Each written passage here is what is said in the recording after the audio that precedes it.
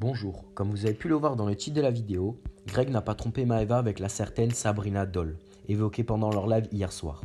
Car ils ne se sont jamais vus. En effet, Sabrina prend la parole et nie tout ce qui s'est passé entre elle et Greg. Ce n'était qu'un coup de buzz de Maeva ou juste peut-être une excuse pour encore trouver des reproches à Greg pour ne pas se mettre avec lui. N'hésitez pas à nous dire ce que vous en pensez en commentaire et bon visionnage à tous.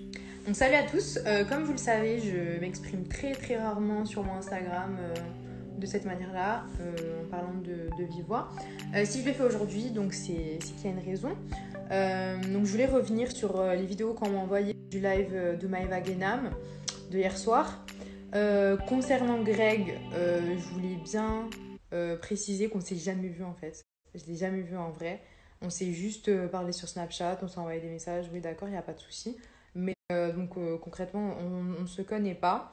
Et euh, donc voilà, c'était pour dire que ce qui a été dit hier, c'était totalement faux. Et voilà, j'ai pas l'habitude de, me justifier.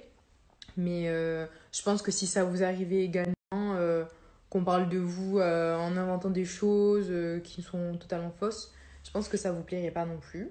Et, et voilà, j'en reparlerai pas parce que, parce que ça sert à rien. Donc voilà, je pense que j'ai tout dit. Sur ce, je vous souhaite une bonne journée en ce premier jour de déconfinement.